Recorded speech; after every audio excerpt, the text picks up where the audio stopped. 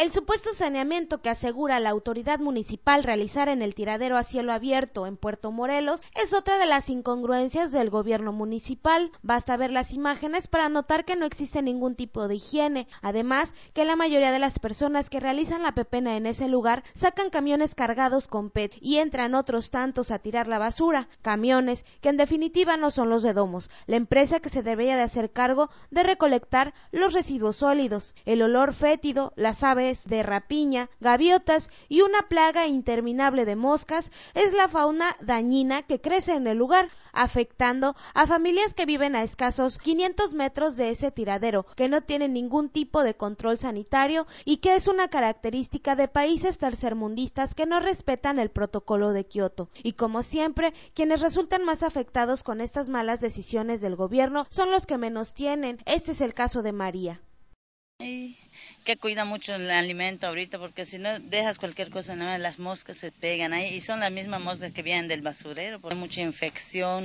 le salen manchas blancas así, todo eso. Por la misma basura, sí. Y es que basta darse una vuelta por el lugar y comprobar que hay lixiviados regados, el olor es insoportable, las moscas están en calidad de plaga y el saneamiento del lugar únicamente se queda en un letrero en la entrada de este lugar, porque en la realidad las cosas son muy diferentes, saquean la basura y otras unidades realizan la tarea de recolección, ya que la empresa Domos descansaba sus unidades en un lugar cercano al centro del pueblo. Una de las unidades solo fue pintada con los colores de la empresa, pero es un camión viejo. Con imágenes de Romana Ayala, informó para Notivisión Wendy Sánchez.